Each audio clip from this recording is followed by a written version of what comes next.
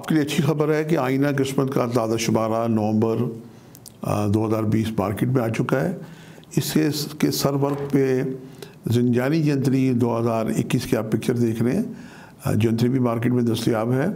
یہ ہر گھر، ہر فرد کی ضرورت ہے اور اس سال کی جنتری میں بہت ہی محنت کی گئی ہے۔ آپ اسے ضرور بازار سے خرید کے پڑھیں اور جن بہن بھائیوں کو یہ شمارہ دستیاب نہ ہو وہ فرسٹ ویک آف نومبر کے بعد جو نیچے نمبرز آ رہا ہے، اس پہ وہ میسج کر کے اپنی پی ڈی ایف فائل منگوا سکتے ہیں۔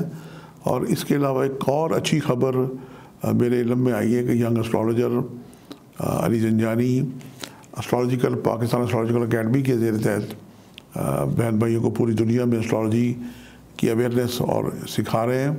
اور اس کا سیشن ابھی جنوری سے نیا شروع ہونے جا رہا ہے۔ آپ اس مفید علم کو ضرور جانیں۔ یہ اولیاء اور انبیاء کے علم ہے۔ اس کا جاننا اپنے آپ کو جاننے کے برابر ہے۔ بسم اللہ الرحمن الرحیم۔ اللہم صلی علی محمد علیہ محمد۔ ان گنت درود و اسلام و محمد علیہ محمد۔ اور ان کی آل اولاد پہ۔ آج بارہ نومبر اور جمعرات کا دن ہے۔ جمعرات منصوب ہے ستارہ مشتری سے۔ اور آج کل بارہ سال کے بعد ستارہ مشتری اپنے ذاتی برج برج کوس میں آیا ہوا ہے۔ اس کی سعادت بھی اس بیٹے اور آپ نے دیکھا ہوگا کہ اولیاء اللہ کی درگاہوں پہ کتنا رش ہوتا ہے۔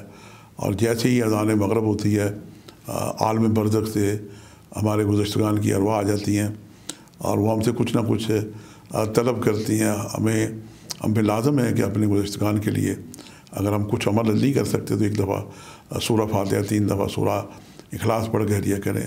اور اگر ہم اپنے گزشتگان کے لیے ایک ایک رومال یا ایک کھجور کا ہی اگر صدقہ دے دیں اور پروردگار سے التجا کریں کہ اس کھجور کا صدقے کا ثواب ہمارے فلاں بزرگ کی روح کو پہنچے، تو یقیناً وہ روحیں خوش ہو کے جاتی ہیں۔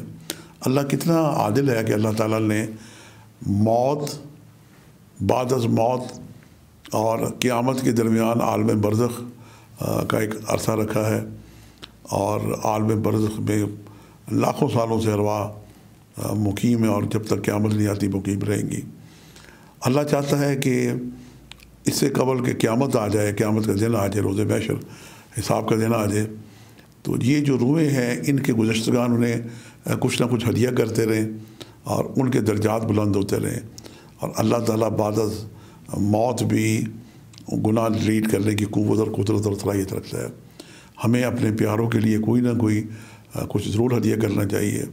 اور میں نے دیکھا کہ بعض اوقات لوگ بڑے معصومیت سے، پیار سے، دل سے سورہ فاتح پڑھ رہے ہوتے ہیں مساجد میں خاص طور پہ میں نے دیکھا ہے۔ اور دعا کرتے ہیں کہ باری تعالیٰ یہ جو سورہ فاتح تین دفعہ سورہ اخلاص پڑھی ہے، ہم ثواب ہدیہ کرتے ہیں، ان کے لیے جن کی کوئی فاتح پڑھنے والا نہیں ہے۔ یہ بہترین عمل ہے۔ آج اگر ہم یہ عمل کریں گے تو کل جب ہم دنیا سے جائیں گے تو ممکن ہے کہ لوگ ہماری مغفرت کے لیے تو شاکرت کے لیے بھی ہمیں کچھ نہ کچھ پڑھ کے دیا کریں۔ تو اس چھوٹے سے عمل کو ضرور آپ اپنائیں۔ آج ہم بڑھتے ہیں اپنے پروگرام کی طرف۔ آج یہ نصف شب جو میں نے ٹائم نکالا یہ بارہ بج کے چھبیس منٹ سے لے کے ایک بج کے چھیالیس منٹ کا وقت ہے۔ اور یہ نماز تحجد کا تعین کردہ وقت ہے پاکستان اسٹینڈ ٹائم کے مطابق۔ آپ نماز شب پڑھیں اور اس کے بعد ایک دو تین تصویریں پڑھ کے پروردگار سے تصویروں وقفہ کر کے دعا کریں۔ تو آپ کی جو بھی نیک معصوم آجات ہوں گی وہ بار کے خدا بندی میں مستجاب ہوں گی۔ دوپہر کا وقت گیارہ بج کے سینتیس منٹ، جو کہ دوپہر ہم بارہ بجے کے بعد ہی بنتے ہیں، تو بارہ بج کے یہ نو منٹ کا ٹائم ہے۔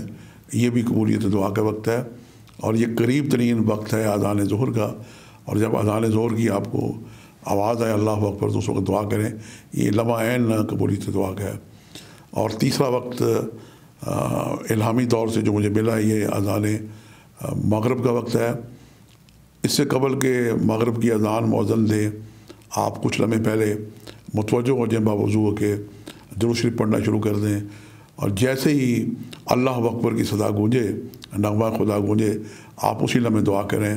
اور اس کے بعد موزن کے ساتھ آپ پوری اذان دہرائیں اور جب اذان ختم ہو جائے تو اپنے لیے دعا کریں۔ نماز پڑھے نہ پڑھیں آپ جانے اللہ جانے، لیکن بہرحال نماز پڑھنی چاہیے۔ نماز مومن کی معراج ہے اور سرکار دو عالم حضرت محمد مصطفیٰ صلی اللہ علیہ وسلم نے ہمیں عمل کر کے دکھایا، ورنہ قرآن پاک میں ارشاد ہے کہ نماز قائم کریں اور زکوٰۃ دیں۔ لیکن نماز کیسے قائم کریں، یہ سرکار دو عالم نے ہمیں عمل کر کے دکھایا۔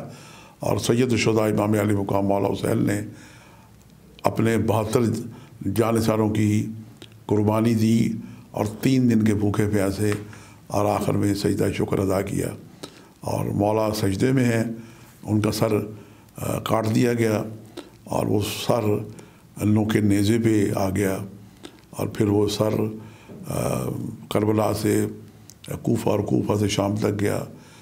سبحان اللہ کائنات میں کوئی ایسا شخص نہیں ہے کہ جس کا تن سر سے جدا ہو جائے اور وہ تلاوت کرام پاک کرے۔ یہ فخر اور صرف فخر اور جتنا بھی فخر کیا جائے، یہ نواس رسول سید الشدہ امام علی مقام کو یہ حاصل ہے۔ آج کے لیے اتنی شاہ زندانی کو اجازت دیجیے گا بشرط زندگی کا ایک نئے پروگرام کے ساتھ حاضر ہوں گے۔ خدا حافظ۔